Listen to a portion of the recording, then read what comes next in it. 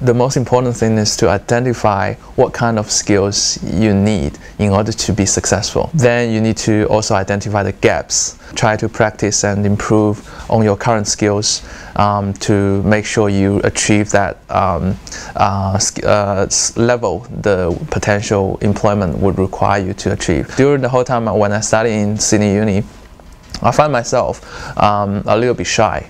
Uh, not talking a lot to uh, different people. So uh, what I did is um, I put that down in a piece of paper. Uh, I know what I want to achieve in order for me to find a job. I need to have a high level of communication skills. So I try to push myself to go to different occasions where I can utilize these skills.